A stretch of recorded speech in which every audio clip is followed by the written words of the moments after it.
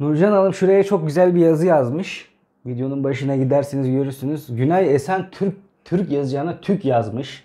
R'yi koymamış ve Ve kendim fark ettim. ve kendi fark ediyor. Bana diyor ki Günay diyor baştan alalım bunu falan dedi. Dedim ulan o kadar konuştuk nasıl baştan alacağız yani. Neyse son dönemde ben müthiş yazımla Günay Esen Türkiye yazdım. O yüzden kusura bakmayın.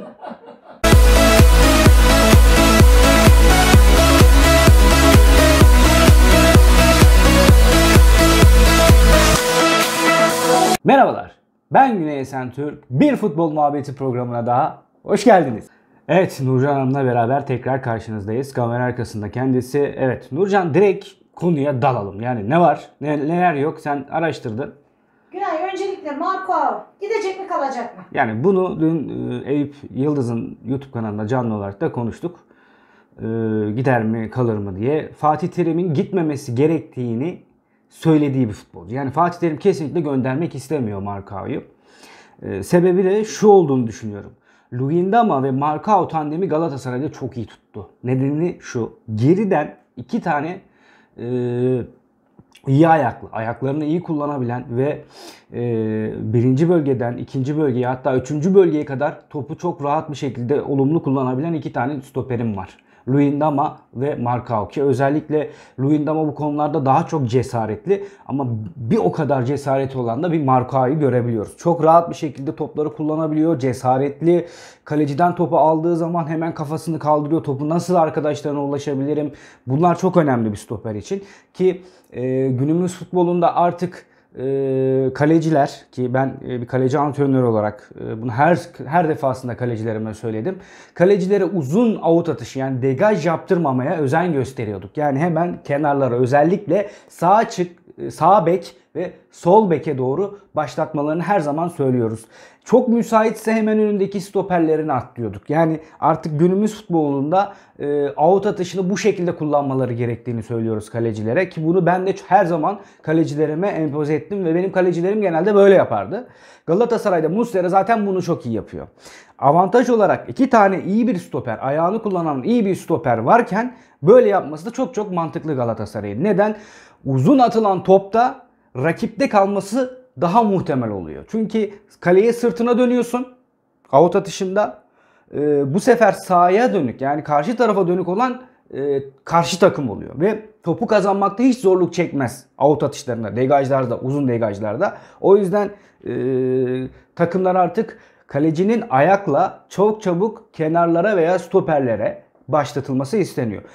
Galatasaray'ın avantajı burada. Yani iki iyi tandem çok rahat bir şekilde ayakla çok çabuk başlatabiliyorlar ve çok doğru kullanıyorlar. Evet zaman zaman özellikle Luyendama bazı hatalar, bazı sıkıntılar yapıyor ama bu çok nadiren oluyor. Şimdi böyle bir tandem yakalamışken Galatasaray sadece bir sene nereden baksanız bu tandemle oynadı. Galatasaray bir buçuk sene oynadı. E Şimdi böyle bir tandemi yakalamışken tabii ki de Fatih Terim'in yerinde kim olmak istese ya kim olsa bu şekilde der. Yani hayır ben Marka'yı göndermek istemiyorum der. E zaten 40 tane bir maç oynayacaksın Süper Lig. İşte UEFA'yı veya şeyi e, Türkiye Kupası'nı katmıyorum.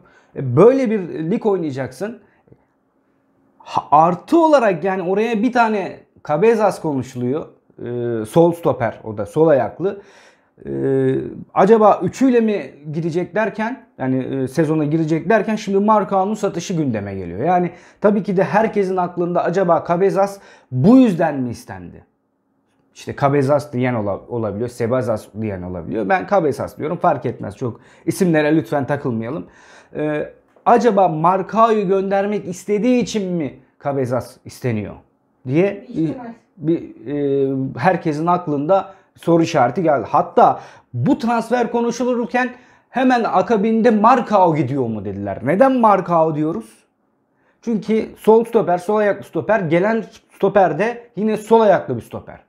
Öbür taraftan İngiltere'den Newcastle'a transfer olacağı 22 milyon pound veya euro gibi bir e, bonservis ücreti önerildiği, bazı taraflarda 18 milyon e, euro önerildiği, bazı taraflar hayır bu rakam 8 milyon euro, bazısına bakıyorsun 12 milyon euro. İyi para.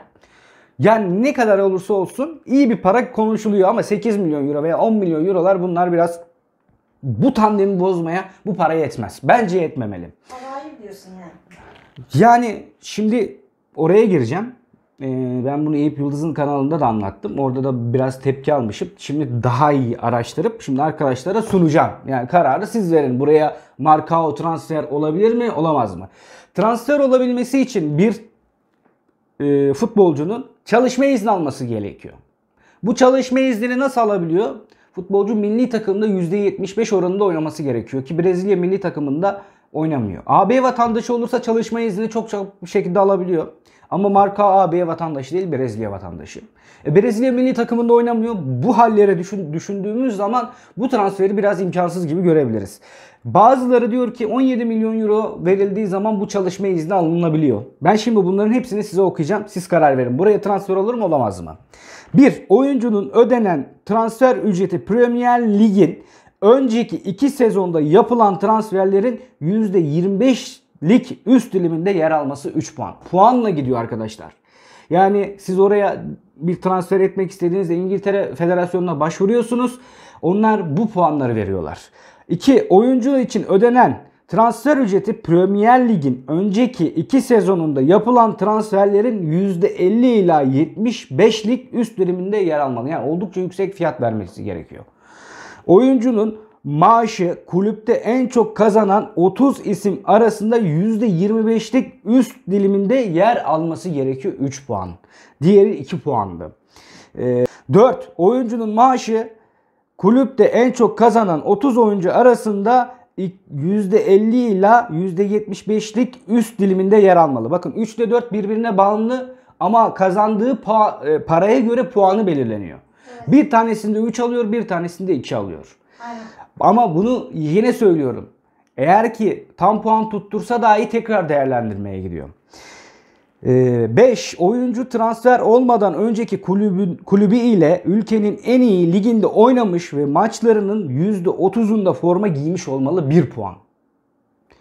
6. Oyuncunun transfer olmadan önce kulübü kulübü son 12 ay içerisinde Şampiyonlar Ligi, Avrupa Ligi veya Cop- Copa Libertadores'te grup aşamaları veya ilerisinde oynamış olması gerekiyor. Bu da 2 puan. Yani bunlar baz alınacak. Ee, tamam e, belli kriterler var ama başvurmadan arkadaşlar farazi konuşamazsınız. 18 milyon euro verildi %100 çalışma izni öyle bir şey yok İngiltere'de. O zaman parayı basan alır. Öyle bir şey yok. Bu çok dönen de var. Yani e, biraz sıkıntılı işler. Evet. Farazi konuşmayalım. Ben şimdi evet orada farazi konuştum. Ben şimdi tüm e, şeyleri, e, dokümanları aldım elime sizlere okuyorum. Markao'nun transfer olması evet olabilir. E, ama izin çıkarma şu vaziyete baktığımız zaman iyi bir parayla iyi bir parayla Markao'nun maaşının iyi olması o zaman olabilir. Ama ön şartlar çok ağır. Şartlar çok ağır. Yani zaten e, yabancı transferi serbest ama bu şartları göre. Yani AB vatandaşı olduğunda herhangi bir sıkıntı yaşatmıyor. Ancak e, AB vatandaşı değilse milli takımında oynamak çok büyük kriter. Bakın size söylüyorum. %75'inde oynaması gerekiyor. Eğer bunu sağlamıyorsa bu şartlarda koşullar var. Yani e, bazen bu transfer başvurusu yapıldığı zaman ortalama 2 hafta 3 hafta süren oyuncular bile var. Tekrar hatırlatalım. Dün de hatırlattım ben size. Onyekuru bu şartları e, yerine getiremediği için zaten Everton'da forma giyemedi. Evet. Çalışma izni alamadı. Yani ona da yüksek bonservis bedelleri verildi biliyorsunuz. Ee, Ama hani sadece para verip olmuyor. Yani ben parasını verdim arkadaş hemen olmuyor işler. Lütfen iyi araştırın. iyi araştırın. Ee, bilgimizi biz de size bu şekilde aktaralım. O yüzden hani buraya transfer olur mu olamaz mı bilemiyorum ama ben Nurcan her seferin her seferinde seninle de konuştuğum zaman yayın da yapmış olsam, yayın da yapmamış olsam şu sözümü hatırlayacaksın.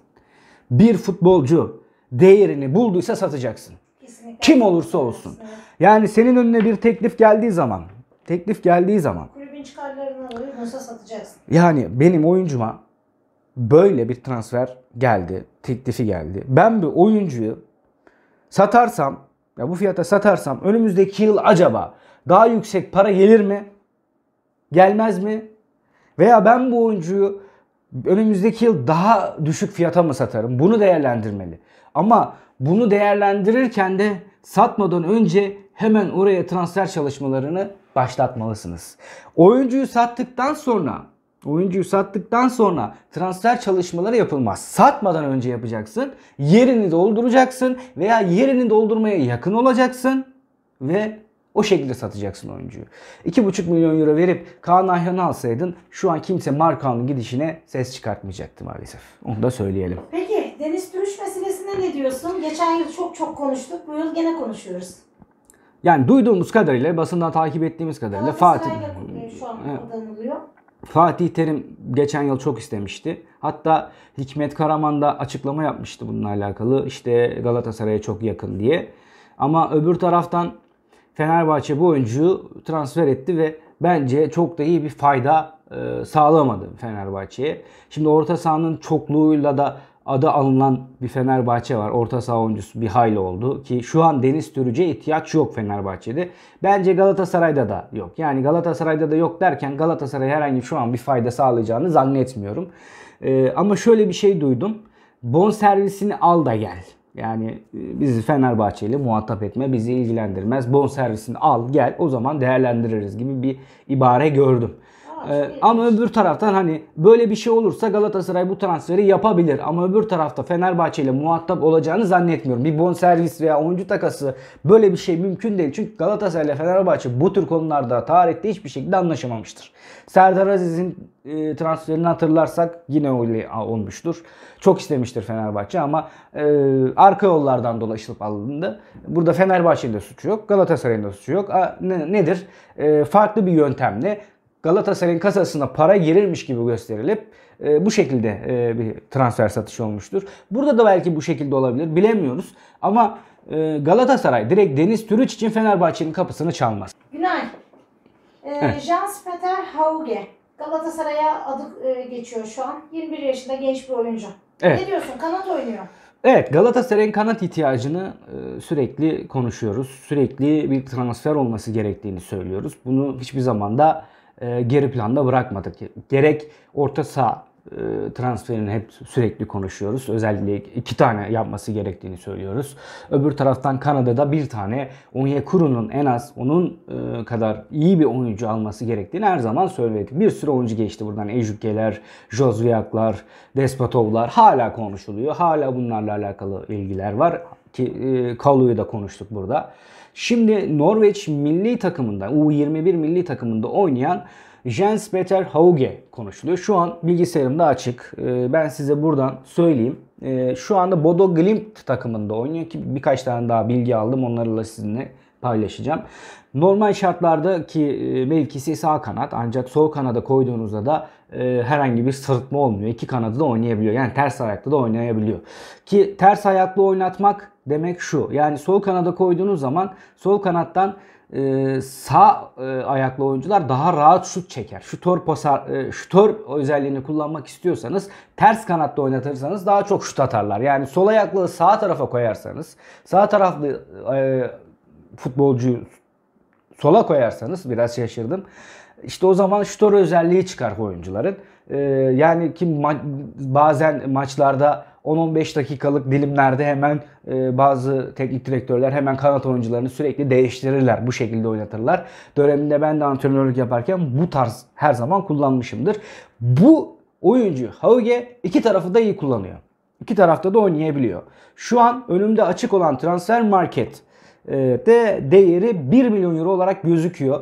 Ancak tabii ki de burada 1 milyon euro dediğine bakmayın. Biz bu oyuncuyu 1 milyon euroya alamayız. Ancak bir para girdisi olursa buradan Galatasaray bu oyuncuyu alabilir diye düşünüyorum. Geçen yıl 14 maça çıkıyor, 10, 10 gol atıyor, 7 tane asist yapıyor. Çok özel bir oyuncu olduğunu bu istatistiklere bakarak söyleyebiliyoruz. Ancak e, Norveç Ligi tabii bizim ligimize göre biraz daha hafif ama oyuncunun yeteneği olduğu belli. Eğer bu oyuncuyu siz işlerseniz bu oyuncudan bir şeyler kazanabilirsiniz. Özellikle Manchester United'ın da bu oyuncuyla ilgilendiğini düşünürsek Galatasaray'ın işi bu transferde zor olduğunu düşünüyorum. Nurcan Hanım şuraya çok güzel bir yazı yazmış. Videonun başına giderseniz görürsünüz. Günay Esen Türk Türk yazacağına Türk yazmış. R'yi koymamış. Ve Ve kendim fark ettim. ve kendi fark ediyor. Bana diyor ki Günay diyor baştan alalım bunu falan dedi. Dedim ulan o kadar konuştuk nasıl baştan alacağız yani. Neyse son dönemde ben müthiş yazımla Günay Esen Türkiye yazdım. O yüzden kusura bakmayın.